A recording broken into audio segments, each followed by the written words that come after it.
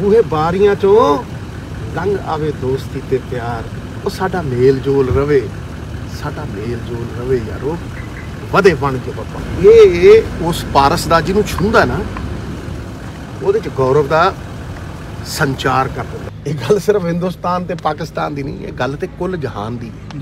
ਜਿੱਥੇ ਅਮਨ-ਮਾਨ ਹੋਊ, ਉੱਥੇ ਬਿਜ਼ਨਸ ਹੋਊ, ਵਪਾਰ ਹੋਊ, ਉੱਥੇ ਛੋਟਾ ਵਪਾਰੀ ਪਨਪੂ ਉੱਥੇ ਇਕਨੋਮਿਕ ਫਾਇਦੇ ਦੇ ਨਾਲ ਆਪਸੀ ਸਾਂਝ ਪਨਪੂ ਮੇਰੀ ਕੋਸ਼ਿਸ਼ ਵੀ ਹੈ, ਮੇਰਾ ਪ੍ਰਯਾਸ ਵੀ ਹੈ, ਸਮਰਿੱਧੀ ਦਾ।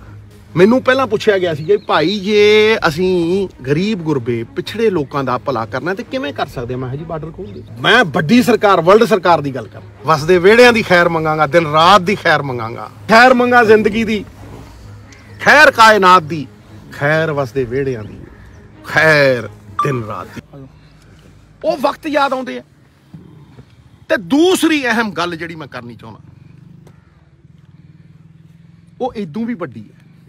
ਤੁਸੀਂ ਕਿਤੇ ਇਹ ਨਾ ਸੋਚਿਓ ਕਿ ਇਹ ਜਿਹੜਾ ਬਾਰਡਰ ਹੈ, ਇੱਥੇ ਮੈਂ ਦੋ ਮੁਲਕਾਂ ਦੀ ਗੱਲ ਹੀ ਕਰਨਾ ਹੈ ਨਹੀਂ, ਮੈਂ ਇਸ ਜਹਾਨ ਦੇ ਪੀਸ ਦੀ ਗੱਲ ਕਰਨਾ ਹੈ ਇਸ ਜਹਾਨ ਦੇ ਪੀਸ ਆਫ ਦਾ ਵਰਲਡ ਅੱਜ ਤੁਸੀਂ ਦੇਖੋ ਯੂਕਰੇਨ ਦੀ ਜੰਗ ਚੱਲ ਰਹੀ ਹੈ, ਰਸ਼ੀਆ ਨਾਲ। ਔਰ ਕਈ ਵਾਰ ਛੋਟੀ ਜੀ ਚਿੰਗਿਆਰੀ ਜੰਗਲ ਜਲਾ ਕੇ ਰੱਖ। ਜੰਗਲ ਜਲਾ ਕੇ ਰੱਖ ਕਰ। ਚੰਗਿਆਰੀਆਂ ਵੱਧਦੀਆਂ ਵੱਧਦੀਆਂ ਮਸ਼ਾਲਾਂ ਬਣ ਜਾਂਦੀਆਂ। ਅੱਗ ਵੱਧਦੀ ਹੈ। ਫਿਰ ਲਪਟਾਂ 'ਚ ਲੈ ਲੈਂਦੀ ਫਿਰ ਈਰਾਨ ਔਰ ਸਾਡੇ ਨੇਬਰ ਦੇ ਨਾਲ ਥੋੜੀ ਬਹੁਤੀ ਜੰਗ। ਫਿਰ ਫਲਸਤੀਨ ਦੇ ਵਿੱਚ ਛੋਟੇ ਛੋਟੇ ਬੱਚੇ, ਮਜ਼ਲੂਮ ਔਰਤਾਂ, ਉਹਨਾਂ ਦੀ ਜਦੋਂ ਮੌਤ ਦੇਖਦਾ ਛੋਟੇ ਛੋਟੇ ਬੱਚੇ, ਮੈਂ ਸੋਚਦਾ ਇਹ ਕੱਲ ਦਾ ਜੰਮਿਆ ਜਵਾਕ ਇਹਦਾ ਕੀ ਕਸੂਰ ਹੈ ਭਾਈ? ਕੀ ਜੰਗ ਕੋਈ ਹੱਲ ਹੈ? ਕੀ ਹੱਲ ਕੱਢ ਲਿਆ ਸੀ ਦੱਸੋ? ਹੱਲ ਟੇਬਲ ਤੇ ਹੀ ਨਿਕਲਣਗੇ। ਹੱਲ ਪਿਆਰ, ਮੁਹੱਬਤ ਨਾਲ ਇੱਕ ਕਦਮ ਅੱਗੇ ਵੱਧ ਕੇ ਇੱਕ ਕਦਮ ਪਿੱਛੇ ਹੋ ਕੇ ਨਿਕਲਣਗੇ। ਇਸ ਕਰਕੇ ਮੈਂ ਚਾਹਣਾ ਮੇਰੀ ਇਹ ਖਵਾਹਿਸ਼ ਹੈ, ਮੇਰੀ ਇਹ ਤਮੰਨਾ ਹੈ ਕਿ ਯੂਐਨਓ, ਯੂਨਾਈਟਿਡ ਨੇਸ਼ਨਸ ਆਰਗੇਨਾਈਜੇਸ਼ਨ ਉਹ ਤਕੜੀ ਹੋਵੇ। ਉਹ ਸਾਰਿਆਂ ਤੋਂ ਵੱਡੀ ਸਰਕਾਰ ਅਸੀਂ ਕਹਿੰਦੇ ਸਰਕਾਰ ਸਟੇਟਾਂ ਦੀ। ਉੱਤੇ ਲੋਕ ਸਭਾ ਦੇ ਵਿੱਚ ਐਮਪੀਆਂ ਦੀ। ਉਹ ਦੁਨੀਆ ਦੀ ਸਭ ਤੋਂ ਵੱਡੀ ਸਰਕਾਰ ਯੂਐਨ ਹੈ ਯੂਐਨ ਯੂਨਾਈਟਿਡ ਨੇਸ਼ਨਸ।